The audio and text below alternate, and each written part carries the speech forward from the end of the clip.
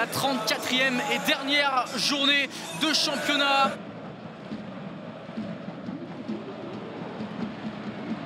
Bien joué, Charles retrouve Benrama dans la surface, le centre. Pour Alexandre Lacazette Évidemment que c'est lui qui débloque la situation Le capitaine, le général Alexandre Lacazette qui inscrit son 18e but cette saison en Ligue 1 le Strasbourgeois, Enzigo là qui s'approche de la surface, qui va trouver Diarra dans la surface. Le tir de Diarra à l'égalisation du Racing Club de Strasbourg sur cette frappe euh, au premier poteau d'Abib Diarra.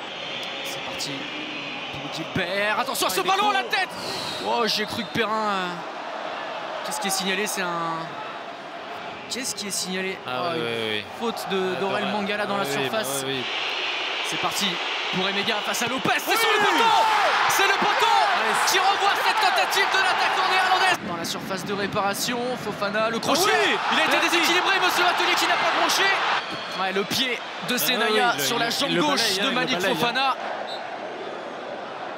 C'est un penalty Le général Lacazette face à Bellarouche. C'est parti